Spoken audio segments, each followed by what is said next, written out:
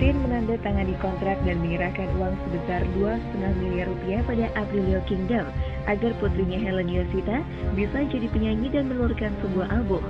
Suryati mengaku Kevin tak pernah menjamin bahwa Helen akan menjadi penyanyi terkenal kala itu. Namun Suryatin kecewa, bukan karena nilai kerjasamanya yang fantastis, akan tetapi ada selisih perhitungan budget antara Kevin dan Suryatin ketika kontrak kerjasama itu dihentikan karena tidak berjalan sesuai dengan harapan Helen. Uh, penjaminan tidak ya, paling enggak kan dia harus melakukan progres. Kalau jamin kan itu nasib ya tapi dengan adanya dua setengah miliar dia sudah komitmen seperti ini.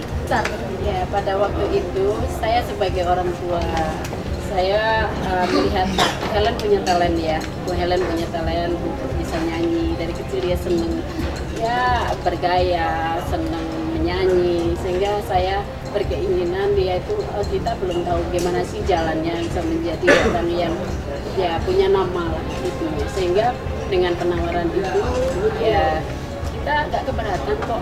Ikhlas dan yang jelas kan kita sudah bayar. Berarti kan memang kita niatan.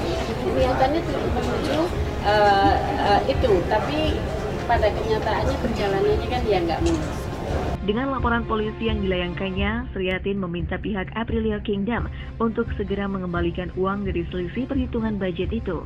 Lantas, akankah Sriatin dan Helen membuka pintu damai untuk Kev? Pihak pengacara Sriatin pun mengaku tidak tahu apakah ADMS dan Memes mengetahui atau tidak laporan yang mereka layangkan atas Kevin itu. Adakah dengan cara damai bisa atau bagaimana? Panggil aja bu. Apa Mas punya misi untuk mendamaikan? Itu kan yang seharusnya beliau. Saya tidak tahu. Uh, bagaimana Tuhan mendaki lah.